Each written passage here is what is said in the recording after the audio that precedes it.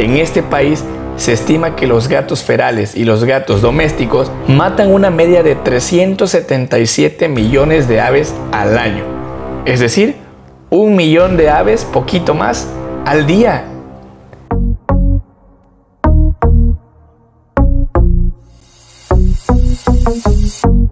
Hola, bienvenido una vez más. En esta ocasión hablaremos sobre un tema que probablemente no sea del agrado de muchos, pero bueno, hoy hablaremos sobre los gatos. Y la pregunta es, ¿son realmente los gatos con y sin dueño una problemática para la fauna silvestre de donde ellos no son originarios? En la actualidad, las mayores amenazas para la fauna silvestre son generadas por nosotros mismos, los humanos. Anualmente se estiman miles de millones de aves, mamíferos, reptiles, anfibios e insectos que mueren por nuestras acciones directas o indirectas.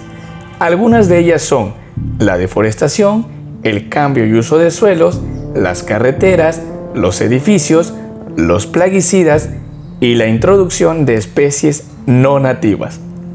Ahora bien, hablando de especies introducidas, probablemente una de las más dañinas son los gatos domésticos. Estos son una subespecie domesticada a partir del gato silvestre, quien sí es originario de Eurasia y África, por lo cual ha sido introducida prácticamente en todo el mundo y actualmente está catalogada como una de las 100 peores especies invasoras no nativas de nuestro planeta.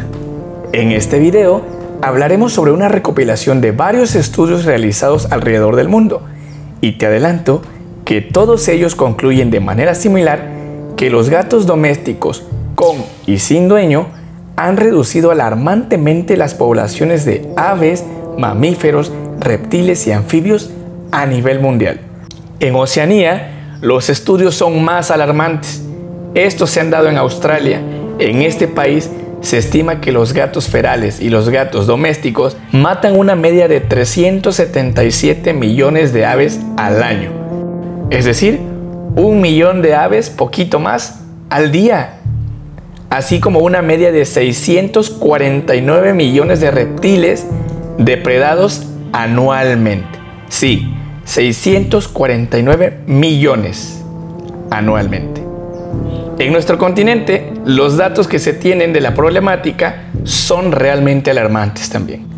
Los gatos domésticos en libertad matan entre 1.400 y 3.700 millones de aves. 1.400 y 3.700 millones de aves. Y entre 6.900 millones a 20.700 millones de mamíferos anualmente.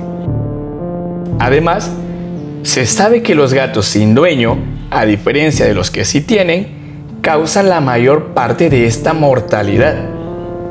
Los datos sugieren que los gatos en libertad causan una mayor mortalidad de lo que se creía anteriormente. Y es muy probable que sea la mayor fuente de mortalidad antropogénica para las aves y los mamíferos en Estados Unidos. Los datos antes mencionados dejan una fuerte alarma para los gobiernos del continente americano y de todo el mundo donde los gatos son especies no nativas. Ahora bien, ante la problemática mostrada por distintos autores, las acciones sugeridas a realizar puede que no sean tan agradables para muchos. Por ello, las acciones inmediatas que se sugieren son prevenir la propagación, controlar el número e idealmente lograr la eliminación total de las poblaciones de gatos callejeros y gatos sin dueños. Sí, sí, asimismo, no todas las acciones son tan drásticas como las anteriores existen otras medidas que pueden ayudar a mitigar los impactos de los gatos domésticos en libertad, entre ellas el uso de cascabeles. Y sí, no digas que falla su audición. Eh, hemos buscado algunos artículos y en ninguno afirma que el uso de cascabeles eh, en uso prolongado eh, altere su audición. Otra alternativa es el uso de baberos y otros dispositivos contra la depredación, la vacunación, la esterilización y bueno, la limitación de gatos por propietario. Asimismo, es importante mencionar que estas medidas pueden ser voluntarias u obligatorias. Sin embargo, es relevante señalar que estas medidas de mitigación tienen limitaciones que afectan a su eficacia contra la depredación. Ahora bien, los gatos en libertad, con y sin dueño, son una fuerte amenaza para la fauna silvestre nativa. Es por ello que se exige a los gobiernos locales la regulación del problema. Los números mostrados anteriormente son desorbitantes y solamente una porción del problema a nivel mundial. Por ello, mantén tu gato vigilado, mantén a tu gato en casa. Ahora que ya hemos visto algunos datos mundiales, solo me queda pedirte desde mi rincón que seas un dueño responsable. Mantén a tus mascotas en casa. En México y en el mundo, la situación expuesta es realmente alarmante. Es un gran problema para la conservación de muchas especies nativas.